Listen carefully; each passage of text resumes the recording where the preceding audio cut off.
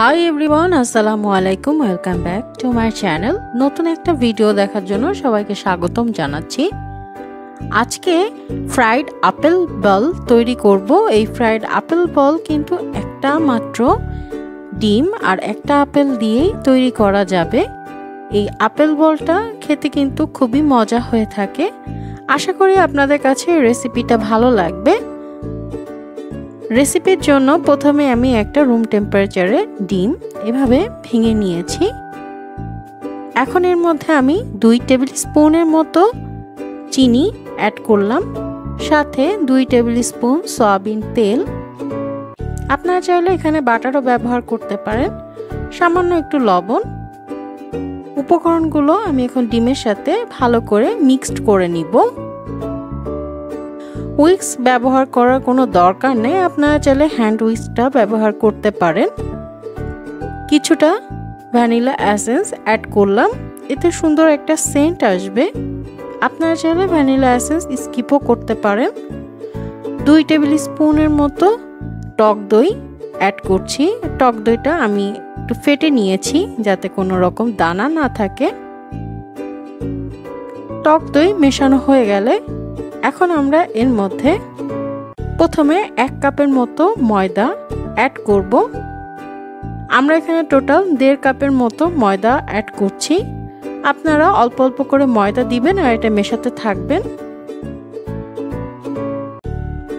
আমি একটা আপেল নিয়েছি, আপেলটা খোসা ছাড়িয়ে একটা গ্রেটার দিয়ে আমি এখন গ্রেট করে নিব। গ্রেটারের সবচেয়ে চিকন সাইড থেকে আমি গ্রেট করে নিব। মোটা দিক দিয়ে গ্রেট করবেন না, তাহলে কিন্তু এই ফ্রাইড অ্যাপেল বলটা ভালো হবে না। গ্রেট করা হয়ে গেলে এখন ময়দার সাথে আর ডিমের মিশ্রণের সাথে খুব ভালো করে মিশিয়ে নিব। খুব ভালো করে মেশাতে হবে এই পর্যায়ে। মেশানো হয়ে গেলে এখন আমরা এর মধ্যে এক চা চামচের মতো বেকিং পাউডার অ্যাড করব। বেকিং পাউডারটা অ্যাড করলে এটা যখন আমরা ফ্রাই করব, খুব সুন্দর ফুলে উঠবে। বেকিং পাউডারটা দিয়ে খুব ভালো করে মিশিয়ে নিয়েছি। একটা পাইপিং ব্যাগ নিয়ে এখন এই মিশ্রণটাকে আমরা পাইপিং ব্যাগের মধ্যে ভরে নিব। মিশ্রণটা কিন্তু খুব বেশি শক্ত হবে না। আশা করি দেখেই বুঝতে পারছেন কতটুকু ঘনত্ব হয়েছে। এখন এই মিশ্রণটা নিয়ে আমরা ডুবো তেলে, ভাজবো। আমি এখানে তেল গরম করে নিয়েছি। পাইপিং ব্যাগের মাথাটাও কেটে নিয়েছি। এখন আমি কিছুটা অংশ মিশ্রণ এরকম পাইপিং ব্যাগ দিয়ে বের করে কাঁচি দিয়ে ঠিক এভাবে কেটে নিব। এভাবে কেটে নিলে হবে সুন্দর একটা সাইজ মতো আমাদের আপেলের মিশ্রণের ডোটা বের হবে। আশা করি আপনারা দেখেই বুঝতে পারছেন।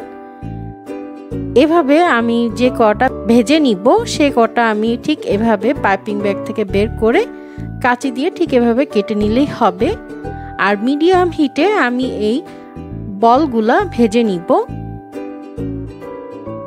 উল্টে পাল্টে বাদামি কালার করে আমাদের ফ্রাইড আপেল বলগুলাকে ভেজে নিতে হবে।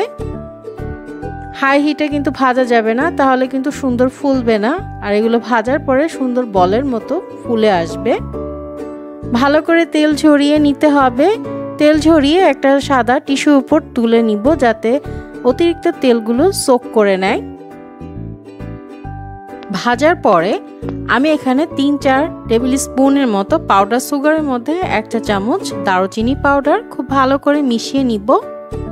মেশানো হয়ে গেলে আমাদের ফ্রাইড আপেল বলগুলো এই পাউডার সুগারের মধ্যে আর সিনেমান পাউডারের মধ্যে ভালো করে গড়িয়ে নিব। এভাবে সবগুলা আপেল বল আমি এখন এই সিনেমান পাউডার আর সুগার পাউডারের মধ্যে গড়িয়ে নিয়েছি।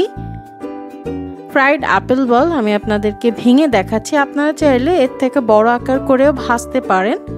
আশা করি আমার এই ফ্রাইড আপেল বল রেসিপিটা আপনাদের কাছে ভালো লেগেছে। যদি ভালো লেগে থাকে, তাহলে আমার চ্যানেলটা সাবস্ক্রাইব করবেন, পাশে থাকা বেল আইকনটি প্রেস করে দিবেন।